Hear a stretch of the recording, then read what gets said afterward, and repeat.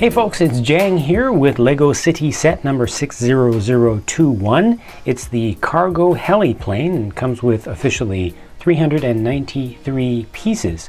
This has been out for a few weeks now in the UK where it sells for 35 pounds. As of the time of this video, it hasn't come out in the US yet, so I don't know what the US price will be. Let's go ahead and take a look at the components of the set, starting with, of course, the minifigures it's three figures in total. Over on the left, you've got a pilot for the heliplane, and he's using the new torso piece for the summer 2013 releases. That's the same one that you'll see on the plane that comes with the cargo terminal set. And then the other two guys are using the torso piece from the most recent mining series, the LEGO mining series, so nothing new there. Uh, they are using the 2013 caps with the ear protection on them, and I do very much like that little chainsaw there. Nothing too fancy or special, uh, special about it, but I just I like that design. You also get a dog. It's got the German Shepherd dog kind of design on him with a little bit of print. And then you get an ATV, little quad here. It's pretty small in size, but has a large large uh, wheels and tires for its size and uh, is pretty pretty wide. And then some other stuff that's related to logging the logging industry.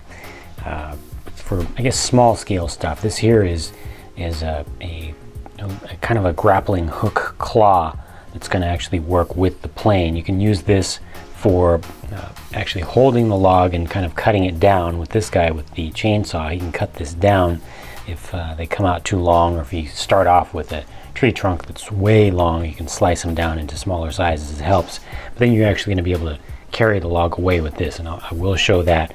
This is just a little little rack for stacking them up when they are uh, getting ready. So you know you can have a bunch of work done in between the times when the plane comes to pick stuff up.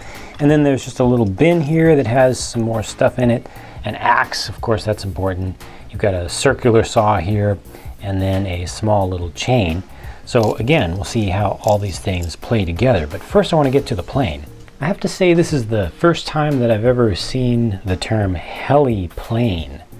Uh, kind of makes sense for what it is, but normally these are just called tilt rotor aircraft. And the most famous one uh, currently in operation is the V-22 Osprey from Bell. And the reason they call them, well, Lego calls this one a heliplane—and the reason they're called tilt rotors in real life is that you've got these rotor blades here, kind of like, almost like helicopter blades. They're extra super large, and they tilt. The entire engine in this case tilts up like so, and this one tilts up like so, and that's what turns it into effectively a helicopter, kind of puts it into helicopter mode. So it's a helicopter and a plane, thus heliplane. And uh, the action there is very nice. It's it really holds in place. That's not gonna gonna fall down. And you can put it in in-between states, so it's kind of transitioning here. It's kind of moving forward a little bit, but still mostly uh, mostly having vertical thrust, so it's it's it's just a little bit of forward motion, and then it just slowly transitions into forward flight once it gets going, and then it starts using the aerodynamic properties of the wings to take it along through the air like an airplane. I really like the design of this craft right here. Uh, it's using the the new nose that was introduced on the the Coast Guard helicopter works well as a, a canopy section for this type of craft. Lots of visibility, you can see around a lot. And uh, I do like the design of these motor pods here. Again, they're, they're nice and secure and they, they hold themselves together steadily. Uh, you've got the, the split tail. Um, oh yeah, back here, there's actually a cargo compa uh, comp compartment and they call this the cargo heliplane they don't really give you much cargo that, or much of anything that you can put in here, unfortunately. It is a pretty small space, but the general idea is that you can take this little container of tools and carry that in there. So you can take that out to, unfortunately there's a little bit of a lip so that doesn't just slip out as easily as I would like. You have to kind of lift it with your finger a little bit. I guess you can put it in sideways also, but straight is better. There's a little bit of space, but for the most part, you, you kind of have to add your own stuff uh, in in there. So, you know, it's it's it's not the most playable thing with the stuff that they give you in this set, but uh, if you have other things, you can put them in there. You can put people in there if you want, you know. And then this chain, this is actually going to become very useful because this has a ta-da! It has a winch on it, and it, it's very nice the way that you know you can just stick this up under there. It stays out of the way, the hook. Pull it down when you need to. It's not all exposed. It just has a single uh, little handle knob on the side. You can let that down.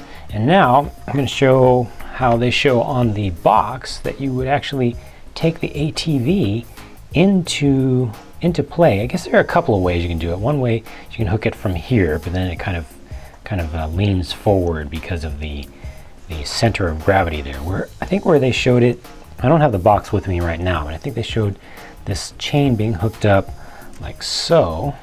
Hook the chain like so. There we go. Keep a little pressure on it, and that should balance much better now. Yep, so this way you've got a couple lumberjacks that are down on the ground and they're already on a job site, but they need uh, some help. Maybe they just drove their, their, their truck and then kind of walked into where the actual work was going on and they need a little help. They need some more equipment, so they just get a, an ATV airlifted in and this just gets dropped off uh, with them and it already has a chain with it. And then you just go ahead and wind this back up and probably when it's being dropped off, this would be in helicopter mode, like so, so it could just get to just where it needs to be. And then it could also land, if you find a clearing, you can land, open up that rear bay, and get the the little tool chest out. It just has a couple couple extra things in it. You've already got the chain with the ATV, but uh, you know those are useful. You can also drop in to your to your work site. You can drop in this thing here just uh, drop that off. You can see how it's got the, the uh, hook at the, or the opposite of a hook right here, so you can easily lift it from the plane. I guess you could also easily lift the, the ATV from the front, just using that kind of like a, a little tow bar, and just put that on there like that. That would be fine too, you know.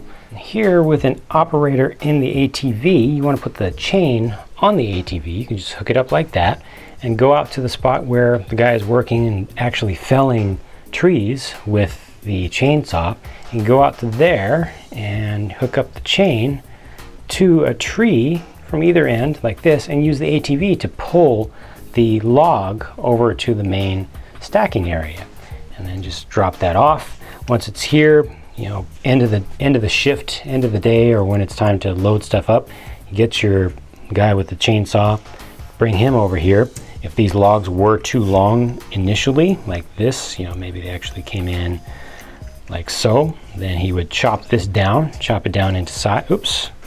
Stay there, stay there. Come on. Uh, uh, there we go. He would chop this off, cut them up into multiple pieces. The two, the two guys probably stack them up for uh, just safekeeping in the meantime. But then this, with the claws, hold that on nice and tight like this. Wait for the plane to come back, or the tilt rotor craft to come back, it would hook this from under here and lift the log away. And that's how you would end up actually getting all this stuff away. So that's how the cargo heli plane is now actually hauling cargo. You can fit two logs into here, but there's a little bit of risk of, of them slipping out. So they, they will fit in there, but you kind of have to squeeze it in tightly and make sure that you get the balance right. So it's kind of a risk versus reward thing here where you're guaranteed to make a good delivery with two with one, but if you try to take two, there's a chance that one will fall out. So that's just an extra, maybe you could even balance three there. Oh boy, that's super risky. If you drop one off, you might drop one onto the head of another minifigure, and then you'll need an ambulance, so be careful with that. You can actually take, oh, there it goes. You can actually take a, a lot of stuff at once, but it's safest if you just take one at a time. But those are all the, the different things you can do playability wise with the stuff that's included with this set. And then last thing I want to do is just show you the cockpit area, the inside of the cockpit area of the tilt rotor aircraft here and just pull that off. It actually pulls off pretty easily uh, as I say that. It's, oh, there we go. Okay. And you can see it's a pretty simple little cockpit layout. There are no control levers. There, you know, it's doesn't even have a proper seat, but uh, there's your pilot. Just has kind of a, a, control panel in front of him. That's a little bit disappointing.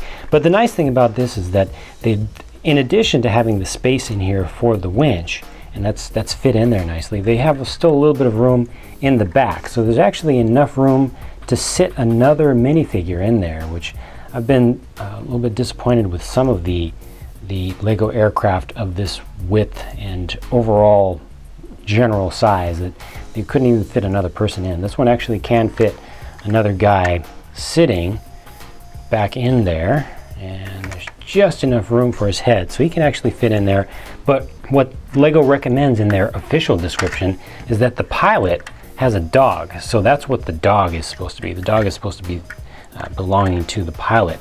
I, I, think that you could you could drop off the dog, and you can see you can even the dog can sit there and look out the window and watch things go by. I'm sure he would enjoy that. You could probably even fit two dogs in there if you if you had them. But you know, it's just nice to have a little bit of extra space uh, in this thing, so you can do other things with that and come up with your own scenarios. I do like this set, even though it's not the largest of the 2013 cargo sub-theme sets. It is definitely my favorite and I feel like it gives you the best value. Uh, like I said, I, I, I, don't know what the price is going to be in the US, but based on the price in the UK, it looks like it has pretty good value, especially when you consider that some of the parts are, are large, still in a, in a good range. And it, it looks good, it plays well, there's a lot of different things you can do. Uh, with the official scenarios that they give you, there are a lot of scenarios that you can come up with that you can make play with just the stuff that's included here. And I think it's going to play well also with other sets and other themes. So I think it's just good all around and good fun. So that's it for my review of the Cargo Heliplane set number 60021. Thank you very much for watching. Please stay tuned for more and subscribe if you'd like to see new videos from me as soon as they come out and I'll talk to you again soon.